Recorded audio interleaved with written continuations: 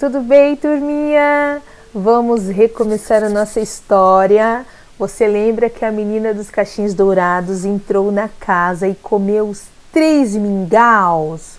Muito bem. Depois que ela comeu os mingaus, ela foi fazer o quê? Ela foi dormir e subiu nas camas. Então preste atenção na continuação da história para a gente fazer uma atividade no livro, tá bom? Foi pela grandona. Oba, uma tigelona de mingau. Pegou a colher grande que estava ao lado da tigela, mas não conseguiu tomar porque estava quente demais. Então experimentou a do lado, que era a da mamãe ursa. Essa deve ser menos quente. Experimentou o mingau, mas também não estava a seu gosto.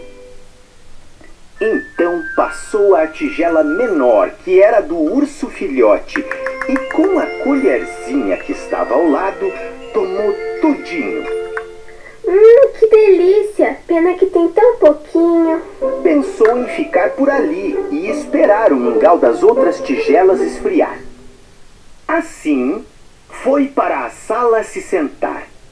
Lá encontrou três cadeiras.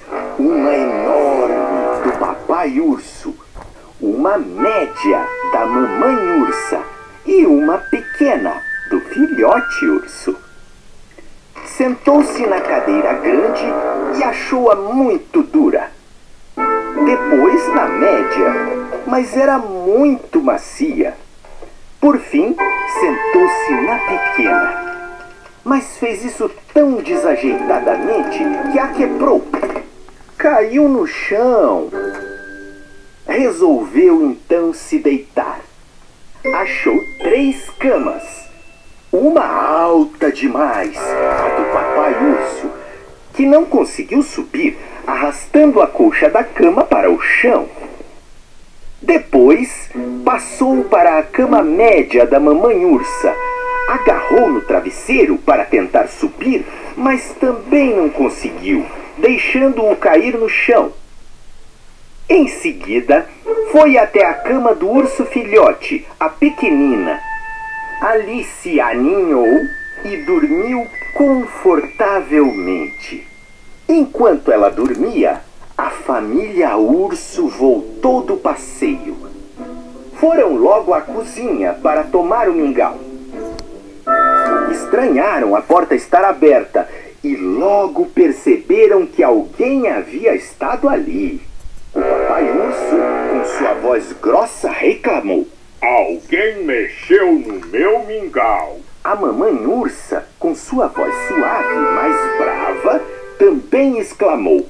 Alguém mexeu no meu mingau. O filhote urso começou a chorar quando viu que comeram todo o seu mingau e com sua voz fininha choramingou. Quem comeu meu mingau? A família urso foi para a sala.